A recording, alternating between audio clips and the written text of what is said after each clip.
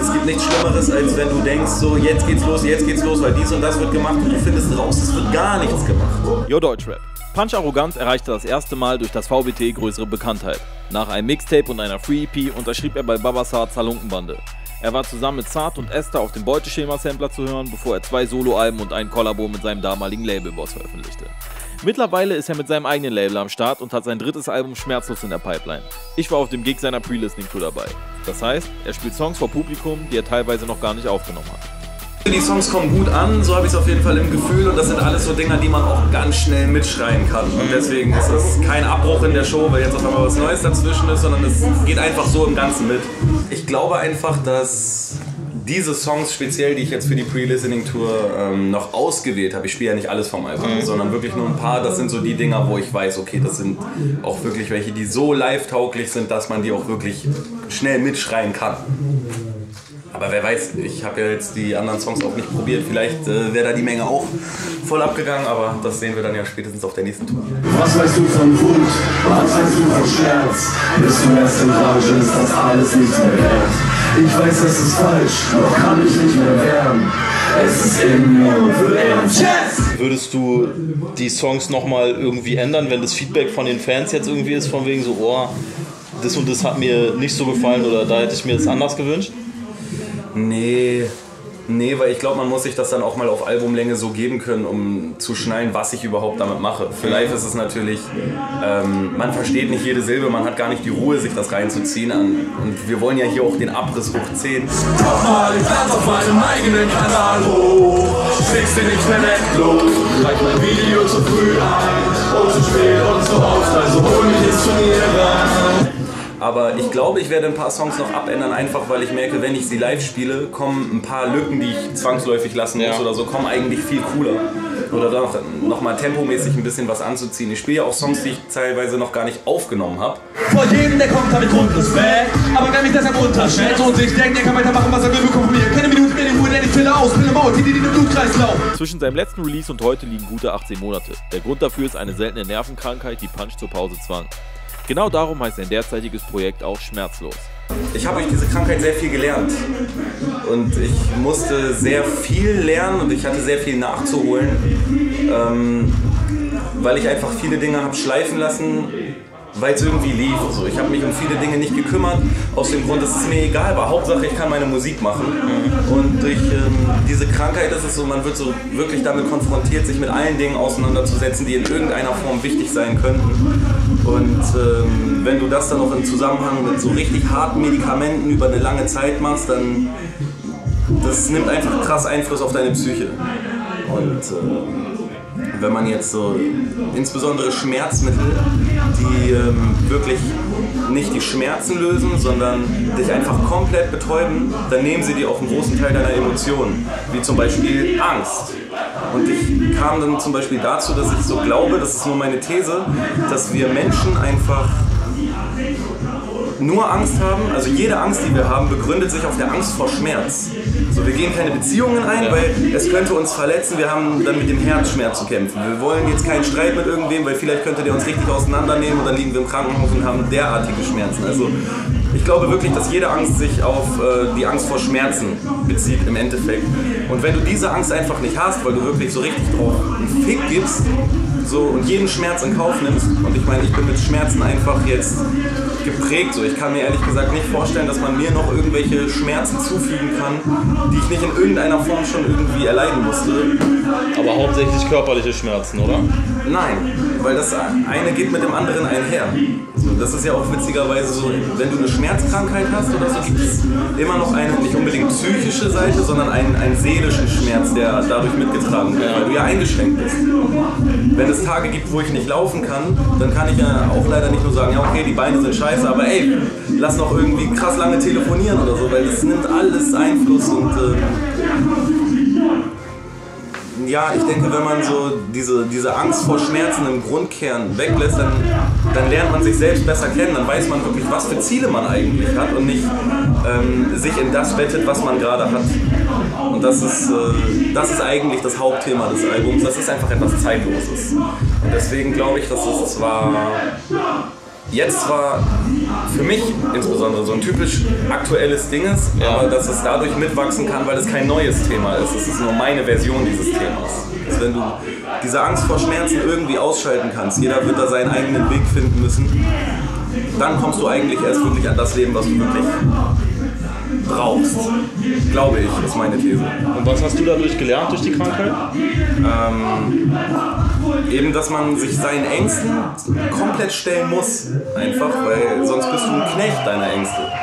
Und das fängt bei ganz, ganz kleinen Sachen an und hört bei riesigen Sachen auf.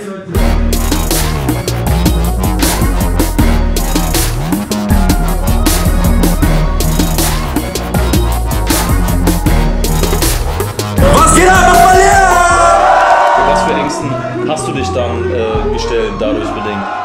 Ich musste den Entzug machen von Ja. Tilidin. Ich war zwei Jahre lang im Wechsel auf Tilidin und Tramadol, weil die Ärzte einfach nicht wussten, woher meine Schmerzen kamen, aber mich ja auch nicht irgendwie rumkrüppeln lassen konnten.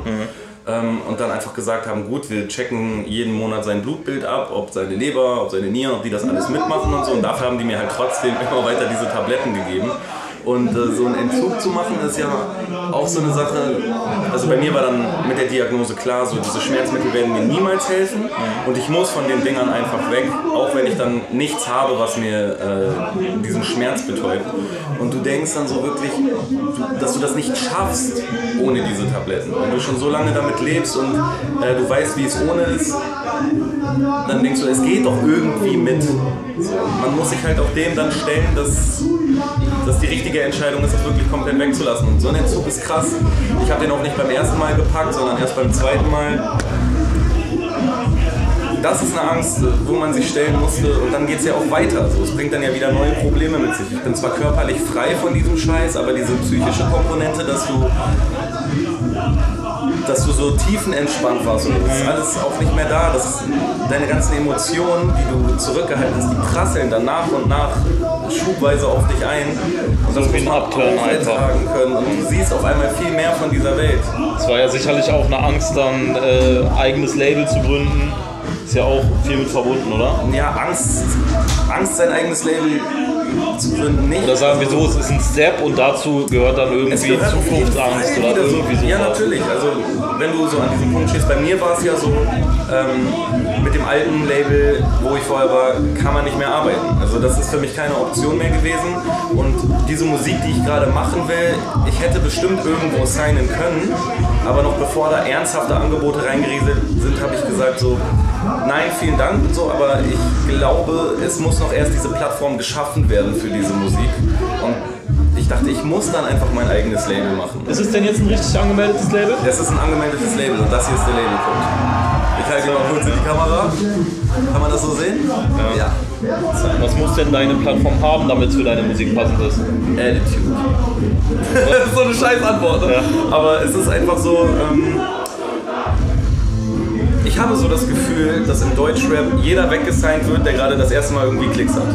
Wenn jetzt jemand so abgeht oder Potenzial hat abzugehen, dann sind die Labels immer heiß drauf, den sofort zu signen. Und das ist eben so das, was ich überhaupt nicht will, weil ich auch glaube, dass das dazu führt, dass diese Rap-Landschaft sich zu irgendwas Komischem entfremdet, was gar nicht mehr damit zu tun hat, irgendwie Mucke zu machen, sondern irgendwie Verkäufe zu erzielen. Wir brauchen diese Zeit, um das den Leuten so näher zu bringen, wie es gerade ist. Es ist ja ein absoluter Umbruch. Ja. So viele wussten bis vor dem Song Wake Up Call noch gar nicht, dass ich nicht mehr bei Halunkenbande habe. Auch an seiner Labelsituation hat sich einiges getan. Punch ist nicht mehr bei HB13 unter Vertrag, hat sein dazugehöriges Tattoo überstochen und äußert sich in seinem aktuellsten Song auch sonst nicht allzu gut über die Trennung von Sars Label. So eine äh, Drama-Label-Trennung und sowas, auf sowas hatte ich einfach keinen Bock. Wenn man sich trennt und das nicht im Guten kann, dann geht das trotzdem nicht jeden was an. Und deswegen habe ich es, äh, ich und äh, ja, die andere Partei auch so, einfach nichts öffentlich gemacht dazu.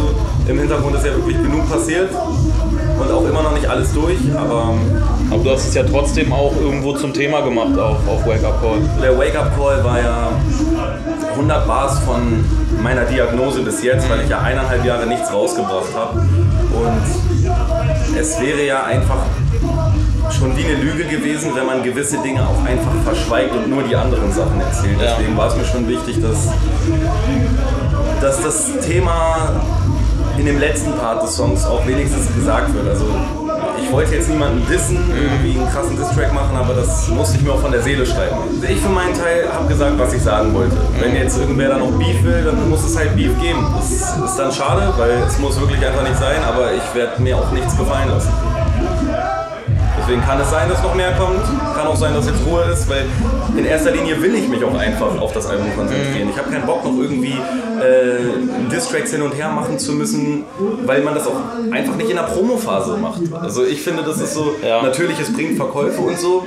Aber ich scheiß sowieso hardcore auf Verkäufe. Ich freue mich, wenn es gut läuft, weil wir investieren ja auch Geld, aber ich, ich will, dass die Musik der Verkaufsgrund ist und nicht die Musik, die abseits passiert, weil man noch irgendwie so ein anderes Drama hat, was die Leute vielleicht gerade mehr interessiert als das Album. Deswegen fände ich das, aber wenn es notwendig ist, ist es notwendig. Für zukünftige Projekte hat er sein eigenes Label Attitude Movement gegründet. Den Vertrieb übernimmt dabei Chapter One.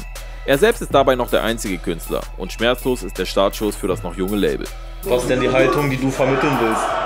Oder die du nach außen tragen willst? Egal ob jetzt an Fans oder an irgendjemand.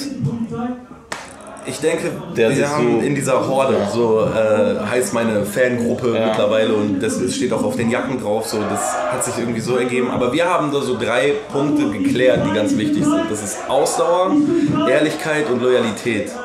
Ähm, die Ausdauer ist sehr wichtig, weil du niemals erwarten kannst, dass wenn du dein Ding durchziehst, also wenn du wirklich das machst, was du machen willst, kannst du niemals erwarten, dass es sofort funktioniert. Deswegen brauchst du einfach die Ausdauer. Du musst oft Lehrgeld zahlen. Ich habe oft genug vor wenig Leuten gespielt. Es gab Zeiten, da habe ich nichts mit Rap verdient. Es gab Zeiten, da habe ich viel zu wenig CDs verkauft. Und ähm, viele verlieren da auch einfach den Bock oder die Leidenschaft, weil sie denken, wofür machen wir denn den ganzen? Das sehe ich so oft und das bricht mir immer das Herz, wenn ich das bei Leuten sehe. Ehrlichkeit ist halt wichtig, weil Leute, die nicht ehrlich sind und immer ihren Vorteil hier suchen und da und dann nur für eine gewisse Zeit am Start sind mit dir oder so, da kann man nicht langfristig mitmachen. Die Ausdauer brauchen wir, weil wir langfristig arbeiten wollen. Und deswegen ist die Ehrlichkeit sehr wichtig und die Loyalität natürlich, weil wenn du ehrlich bist, hast du viele Feinde. Oder du kriegst viele Feinde oder du wirst Schwierigkeiten haben, weil jemand, der irgendwie lügt, der wird schneller gehört, der, wird, ähm, der bekommt einfach viel mehr Aufmerksamkeit und Lügen haben ja auch das schöne Ding, dass, dass sie einfach besser klingen als die Wahrheit. Wenn ich jetzt einen Künstler nehme und sage, guck mal, pass mal auf, ich gebe dir 50.000 Vorschuss, weil ich glaube an dich und der und der hat auch gesagt, das will ich rausbringen und du wirst diese krasse Rotation kriegen und so weiter und der, der feiert das mega und sagt, ja, ja, ja, aber es ist am Ende nur eine Lüge dann ist es eine Lüge, die für ihn auf jeden Fall besser klang, aber mich langfristig ficken wird. Und ihn sowieso. Und da, ey, wir sind im Musikbusiness, da gibt sowas scheinbar nur. Habe ich zumindest so erfahren. Ja. Das wollte ich dich nämlich auch fragen. Was ist denn deine, deine Attitude und deine Haltung zu der Musikindustrie? Ja, Du Musik, sagst ja auch auf dem Wake-up-Call mit niemand was zu tun und so. Musik ist etwas, das eigentlich nicht in Zahlen zu messen ist. Also du kannst ja nicht anhand von Verkaufszahlen oder Chartplatzierungen messen, wie gut ein Song ist. Das geht ja einfach gar nicht. Ähm, das Problem dabei ist, dass Künstler von der Musik leben. Und deshalb muss es ein Musikbusiness geben und das ist völlig frei von Emotionen. Kunst besteht nur aus Emotionen und dieses Musikbusiness ist frei von Emotionen. Und das ist ein sehr schwerer Kompromiss, den ein Künstler mit einem ähm, Major-Label zum Beispiel eingeht, weil die einfach nur auf die Zahlen gucken müssen und der Künstler eigentlich gar nicht auf die Zahlen gucken sollte. Es ist ein scheiß Kompromiss, so, weil in dem Moment, wo du Musik veröffentlichst, machst du sie nicht mehr nur für dich. Aber ähm, selbst wenn es dir auch gar nicht darum geht, viel Geld zu verdienen oder so, geht es einem Künstler ja auch, denke ich mal, darum, seine Kunst nach außen zu tragen. Dass die Leute darüber reden, sich eventuell aufregen, auskotzen. Worauf ich aber eigentlich hinaus wollte, ist, dass diese Musikindustrie ähm, eben dadurch, weil sie so emotionslos ist, halt auch oft auf Künstler scheißt. Ähm, wenn die Zahlen nicht stimmen, wird jemand gedroppt. Gibt es ja gerade im Rap auch immer mal wieder. Und das macht mich traurig so, weil ich finde, wenn man mit jemandem so eine Vereinbarung eingeht, dann macht man das, dann sollte man das nicht machen, weil es Geld bringt. Natürlich sollen alle ihr Geld verdienen, das sage ich ja immer wieder, aber das sollte nicht im Fokus stehen. Aber deswegen habe ich vielleicht auch zu einem großen Teil mein Label gegründet, weil ich das jetzt selber lenken kann. So, ich weiß ganz genau, was ein junger, hungriger Künstler erwartet von seinem Label und ich weiß, dass ich das bieten kann. Und es gibt nichts Schlimmeres, als wenn du denkst, so jetzt geht's los, jetzt geht's los, weil dies und das wird gemacht und du findest raus, es wird gar nichts gemacht. Am Ende des Tages geht es nicht um Geld hier. Frag mal die Fans so, ob, ähm, so, warum seid ihr hier, was war damit verbunden und so weiter. Keiner wird dir sagen, ja, also als erstes habe ich eine Karte gekauft für 19,40 Euro, sondern die werden dir erzählen, was sie hier erleben. So, boah, ey, wir mussten vier Stunden fahren und das und das und jetzt sehen wir Punch Arroganz. Das ist das, was zählt und das will ich einfach haben. Ich möchte allen, die hier sind, noch mal erklären, warum gerade ihr heute diese Jacken bekommt. Nicht weinen. Das hatten wir schon. Okay, wir haben vor knapp vier Jahren ähm, eine Facebook-Gruppe gegründet. Das war der Punch Girls Club. Der Sinn der Sache war nicht, irgendwie alle Groupies in eine Kartei zu schieben, was durchaus geklappt hätte. Der Sinn der Sache war, wenn, sobald man einen weiblichen Rap-Fan hatte auf Facebook und jemand hat gesagt, ah, ich feier Punch, kamen sofort drei, vier, fünf Typen und dann drunter geschrieben, äh, blöde Schlampe, du hast gar keine Ahnung von Rap, verpiss dich. Und somit hatte ich irgendwie gar keine Mädels mehr oder so, die irgendwas kommentiert haben auf dieser, ja. Deswegen haben wir halt diese Gruppe gemacht. War jetzt nicht die beste Idee, aber es hat die Idee danach gebracht für die Horden-Facebook-Gruppe, wo jeder rein kann, der einfach nur einmal kurz nachweist, dass er es supportet hat. Sei es ein T-Shirt, sei es ein Keks, sei es ein Link gepostet, was auch immer. Ohne auch nur einmal was dafür zu verlangen, machen diese beiden das für mich seit über vier Jahren. Ja, deswegen habt ihr heute sogar die Special-Jacken, denn hier stehen eure Namen drauf.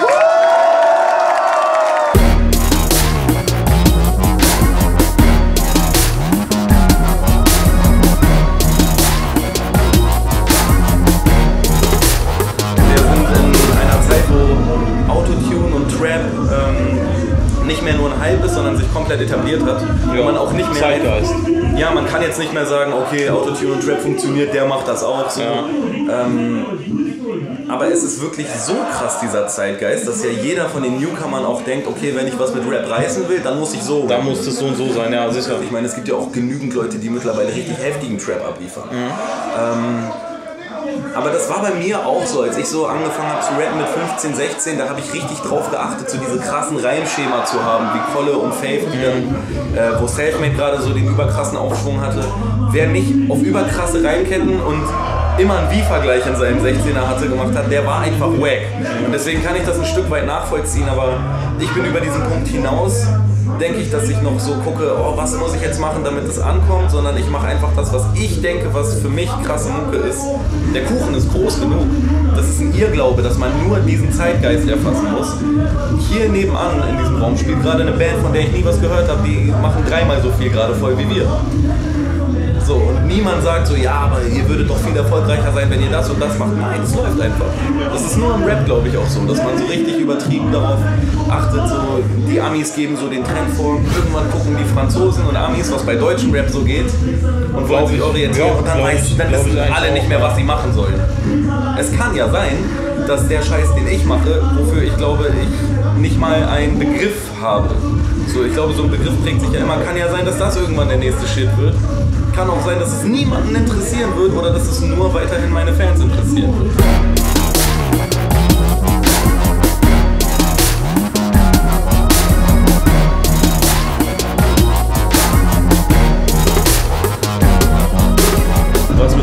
Denen du jetzt auf Tour bist, äh, stehen die nicht als potenzielle Signings irgendwo im Raum?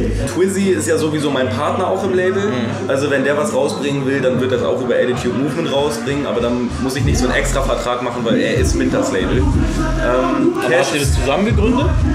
Ähm, auf dem Papier nicht. Auf dem Papier ist es zu 100% mein Label, aber wir sind diese Trennungsphase vom alten Label auch äh, durchgegangen und äh, insgesamt haben wir beide schon eine sehr, sehr schwere Zeit durch und er hat mir sehr geholfen, den Kopf oben zu halten Ja. und ähm, eben auch mir diesen Ruck zu geben, dass wir jetzt alles alleine machen, dass wir unser Label gründen. Alleine klingt immer so, als würde ich das als einzige Person machen, aber alleine heißt halt unabhängig. Bei Cassius Clay, das ist noch so eine Sache, da weiß ich eben nicht, was bei ihm so musikalisch gerade abgeht. Ich frage ihn immer mal so, machst du ein Album oder so? Und er sagt, ja, ich will mal hier so ein bisschen da, aber ich habe bei ihm noch nicht so das Gefühl, dass er wirklich ähm, den Kopf dafür hat, gerade Mucke zu machen. Ich muss auf gewisse Dinge hinaus in meiner Musik und ich erwarte auch so, ähm, ich erwarte auch so von den Leuten, die mit mir zusammenarbeiten, dass die ein bisschen, äh, bisschen das teilen, äh, was ich machen möchte.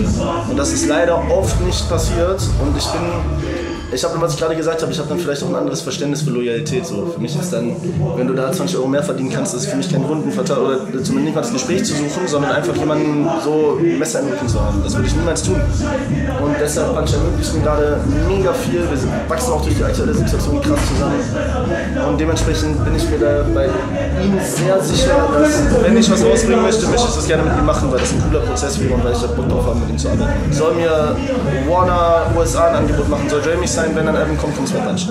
Ich glaube, dass es mit ihm zusammen sehr gut funktionieren würde und wir auch in gewissen Sachen auf einer Wellenlänge sind. Du, wir haben beide, glaube ich, ein sehr gutes Gespür für Hooks. So, wir, legen sehr viel Wert auf diese Double-Tap-Kiste und deshalb versteht er, was, so, was ich für Musik machen möchte, was mir wichtig ist an dem Song. Und deshalb habe ich Bock darauf. Er ist A, ein überkrasser Musiker, B, hat auch schon so eine lange Strecke hinter sich, wo er diese Mucke halt macht, ohne wirklich das dafür zu bekommen, was er verdient, meiner Meinung nach. Ich würde mich freuen, wenn ich bei ihm so ein paar Hebel in Bewegung setzen könnte, dass es halt äh, andere Ausmaße annimmt. Aber dafür müsste er mir zumindest mal das Gefühl geben, dass er ein Album rausbringen will oder irgendwas. Aber ich kann mir ganz gut vorstellen, dass Cash es reinpassen würde. Yeah. Here we go. This here's hip hop. Word up. Stop, look, and listen. Back, backspin.